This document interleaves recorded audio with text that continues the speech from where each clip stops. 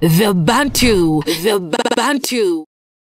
huenda mashida shida zikawa zimeanza mahala na mahala. Hali ya ulinzi na usalama ikoje kwenye wilaya hii? frank speaking niseme tu uh, nyinyi mtakuwa mashahidi. Kwa miaka hii mitano hivyo, ushasikia kuna majambazi wameingia sehemu wamepiga risasi ta, ta, ta, ta. watu wamechukua wamekimbia. Kweli? Yani ile kama mifumo ya kizamani basi limesimamishwa.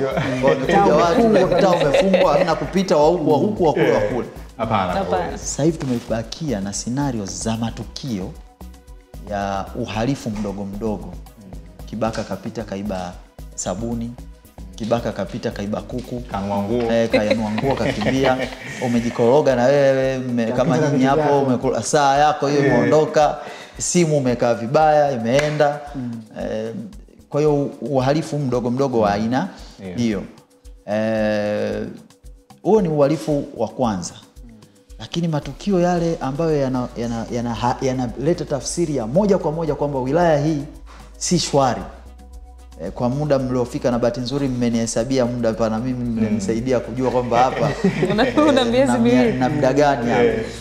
Ukweli ni kwamba katika wilaya ambayo eh, sio stressful kwenye eneo la usalama jeshi letu la polisi vyombo vyetu vya ulinzi na usalama vinafanya kazi kubwa sana hapa ubungo na mimi ndo mwenyekiti wa kamati ya usalama ya wilaya.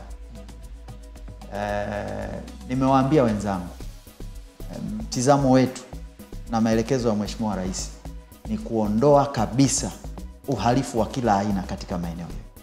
Mpaka mdogo mdogo ule ambao tunawafikiria. Unauza bangi kamatwa hapa ubungu sio sehemu salama. Wewe ni mkatili wa kijinsia mnyanyasaji eh, unafanya unyanyasaji wa kingono hapa ubungo sio mahala salama. Wewe ni kibaka mwizi mdogo mdogo. Hapa ubungo sio mahala salama. Wewe ni mbakaji mlawiti. Hapa ubungo sio mahala salama. Kwa hiyo tumetengeneza sisi standardi zetu katika kila eneo. Kipaumbele changu cha kwanza ni watu wanapoamka asubuhi wakiwa na amani. Hiko ndo kipaumbele changu cha kwanza. Mimi siendi kulala bila ya kujua wananchi wangu milioni zaidi wanalala saa ngapi? Kwa kupata taarifa za kutoka kwa maocd na kila kituo kila kata kila, kila polisi kata anipe taarifa.